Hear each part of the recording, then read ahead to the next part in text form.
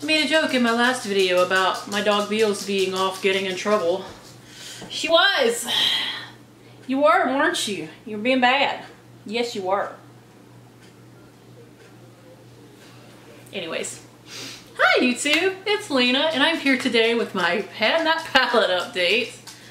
Um, uh, this year I am panning both the Tarteist Pro To Go palette and this little mini sleek eyeshadow palette of When the Sun Goes Down. I'm also rotating a palette each month to kind of give me a little bit more to play with. It did not go so well this month and I think I know why now that I'm really thinking about it. But first let's get into what I'm trying to finish. So for my Tarte palette, here's what it looked like last month.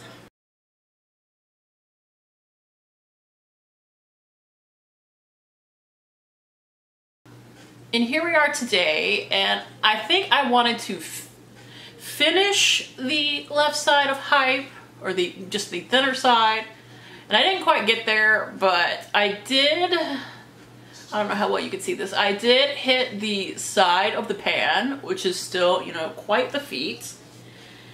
And that makes me very happy. Uh, if you'd like to get like a closer picture later, just stay tuned through the end. I do show you know, a month-to-month -month progress and all this. I did also manage to hit pan and dry. Well, the shade, the pan drive. Uh, both of these are actually a mixture of drive and styling, and I wanted to re-hit pan on this side. I mostly use it in my brows, but I also wear it in my crease on occasion. Today, I actually wore a hype on the lid and crisp in the crease because I've been wanting to use it more and just have been kind of forgetting about it, its, existence, but if I want to finish these two shades in the next six months, I really need to start using them. So for this, my goal is to once again finish at least half of Hype. I'm actually probably going to repress it soon just to make it a little easier to deal with because I'm having to kind of dig my brush into the sides and that's, you know, not good for your brush. So I didn't quite hit my goal on hype, but I got pretty close and I did hit my goal on the pan of drive. So apparently somebody else had to join us. She was not happy sitting on the bed with my husband. As apparently she was constantly scratching him on the nose. I don't know what she thinks is going on out here, but she is with us as well. I think Mo is hiding in a different room now. Anyways, like I said, this one I worked on, I've tried to work on as well. It was not successful. I was trying to pan, because I try to use up a shade a month. This shade right here, and as you can see, did not go anywhere. I have used it a few times. I used it today, but just did not work out. So next month, if I want to stay on track, I need to use up two.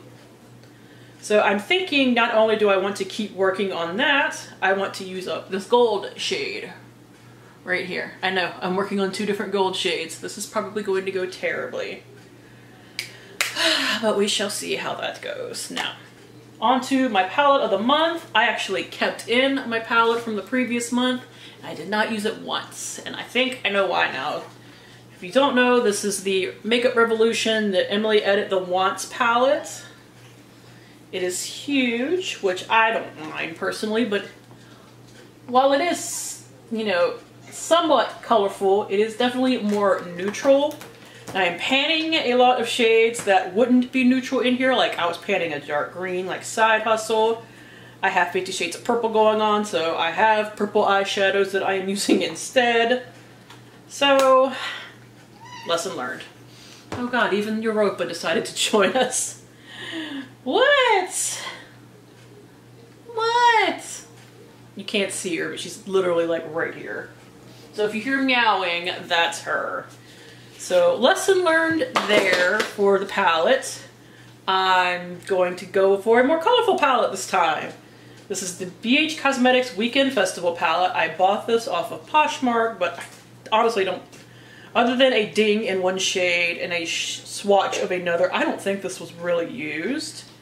I mean, I sanitized it when I got it anyway, just to be sure, but here are the shades in case you are unfamiliar with it.